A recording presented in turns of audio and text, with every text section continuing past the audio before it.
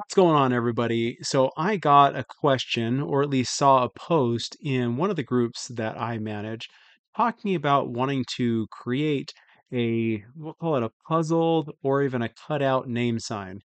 Uh, you know, those that has something in the background and something cut through it with like another name.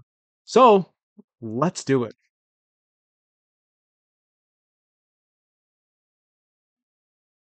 All right, so I've opened up the file that I was sent over, and right now this is what we're looking at. So I'm going to go ahead and I'll start picking apart the different things that I'm seeing and just showing you how I would go about doing this exact thing. So ultimately what they want is they want anything where it's crossing this maverick that it's going to be cut out.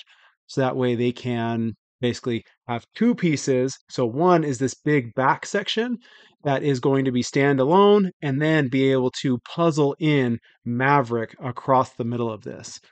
So first thing that I'm going to do is I, you know, I'm just going to click around and see, okay, how is everything grouped? So these all right here are individual pieces. So because I know that I'm going to cut out of that, I'm actually going to group these. Because using your Boolean operators, it really is going to matter how things are grouped or not grouped. Um, so we got all these pieces and we made sure to grab this piece of the R that's right there.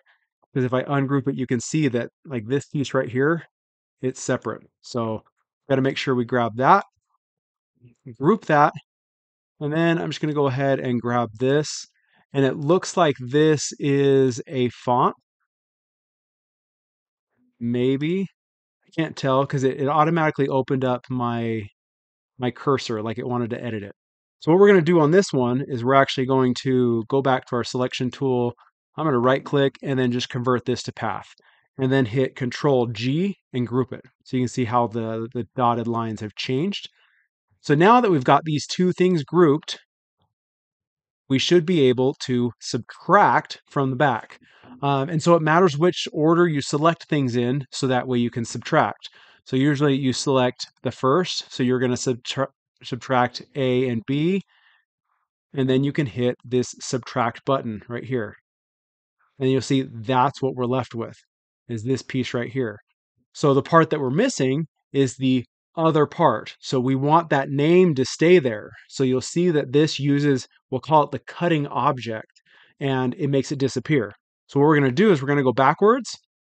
Now we're just going to grab this, and we're going to do Control D for duplicate. So now you can see like that line got thicker. There's two of these sitting on top of each other. So we're going to select the back piece and then hold control and then select one of the top pieces because we can only see that one is done. And we're going to do this again. So subtract and there you go. That is your puzzle piece now put together. So if I grab this Maverick and we go and just pull like this, you can see Maverick is whole, but now you've got all of the cutout pieces that you needed for the back. So that way you can go ahead and puzzle this back together, do your painting, whatever you need to.